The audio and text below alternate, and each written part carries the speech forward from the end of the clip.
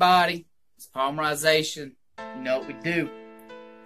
I'm gonna talk about hygiene. All because of this coronavirus, everybody's in a pandemic. You know, they canceled YCSs. I'll be surprised there'll be a lot of regionals getting canceled. I mean, you might as well just go into the master revision, the new rule. 2020's practically over, in my opinion. You might just lock yourself away for the most part. But wash your hands. Like it's, it's so simple. Like we could stay and get rid of all this, have no epidemic, no nothing. Just wash your hands. You know, squirt, squirt, lather. You know, rinse, repeat. It's not that hard. I mean, I don't know how many times I've been to regionals and YCSs, and you go into the bathroom and you know this guy's coming out of Brown Town, and makes a big shit, walks out, keep walking, don't wash his hands or nothing. And I mean, there's been sometimes I've actually yelled at guys like, "Dude, wash your hands, bro. Where are you going?" And I've actually called out one guy one time. You know, I saw him out next few tables down. I was like, "Dude, he didn't wash his hands." I'm sorry, but if you're that dude, you are a pathetic, sad human being if you just don't know how to wash your hands. And if you wash hands and you're afraid of touching other people's decks, other people's stuff, or shaking hands, you don't have to shake hands. You know, I mean, just tell them, look, I'm, you know, not to be rude. I just prefer not to shake hands, just germs. And then, you know, you get a pocket size of hand sanitizer. You know, you can just put in your pocket for your match. Ask your opponent, hey, would you please squirt, squirt, squirt, squirt yourself? I mean, that's what I do. I have people sit around me like, hey, let me get a squirt. I'm like, no problem, no problem, no problem.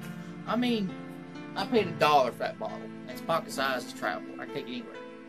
And just like nothing, what I just did there, because I always play with my beard.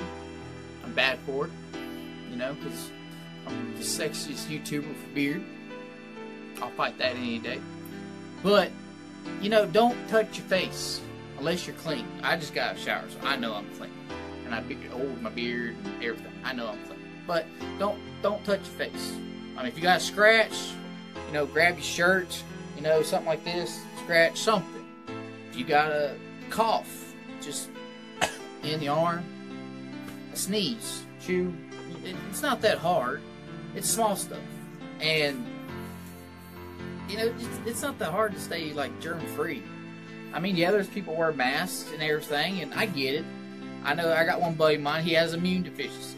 He has to wear a mask. That's that's just something he has to live with the rest of his life. And but if you're germophobic and you feel like you want to wear a mask, that's understandable. I ain't gonna disrespect you or anything. I get it. I mean, there's been a few times I've been around people. I'm just like, damn, I wish I had a mask. Especially stinky fuckers out there. I mean, there are some of y'all that just fucking reek. And you know, first heavyset guys, I'm one of them. I mean, I'm big built. That's all there is to it. You know, take your extra sticky deodorant. You know, you get a little sweaty, you know, re-stick. If you sweat a lot, take you an extra shirt or two. You know, that way you stay fresh, you stay clean. I mean, people's gonna remember you, especially if you're going to the same regionals over and over or a certain uh, area span. People's always gonna know you. I mean, do you really want to be known as the guy that stinks? Like, seriously. Or the guy that doesn't wash his hands?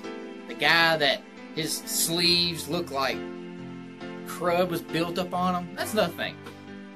If your sleeves, because our skin, skin, you know, falls off, and I've seen so many sleeves that have like skin, dead skin cells, brown spots all over the sleeves, change sleeves. Especially if you're going to a big event, change sleeves. Like nobody wants to handle your nasty, dirty sleeves. And I, there, I know there's some, you know, it's hard to keep clean. That's just part of you, uh, or any card game in general. But that's another thing I think everybody should do is get new sleeves every once in a while. Change them out. I mean, after a while, they they do dinge up and everything. Um, you know, I just, I think that's all I can really talk about. You know, I just had to vent a little bit about the hygiene more than anything, and then just, just But you know what? Let me know what you think. What's your opinion about the whole thing? You know, should we still have to do events? Should we not have events? Should we just lock ourselves up and play online only? You know, I don't. You know what? This is PaulMerization. Peace.